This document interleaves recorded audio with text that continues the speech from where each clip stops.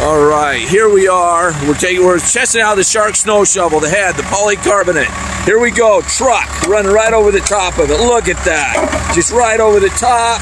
Check this out. Let's see. Completely. Let's see here. No problem whatsoever. No damage. Truck ran it right over. I can't believe it. It break it. Completely awesome. No problem with it, right? Oh, perfect. And see, I mean, this is just, it's indestructible. Absolutely indestructible.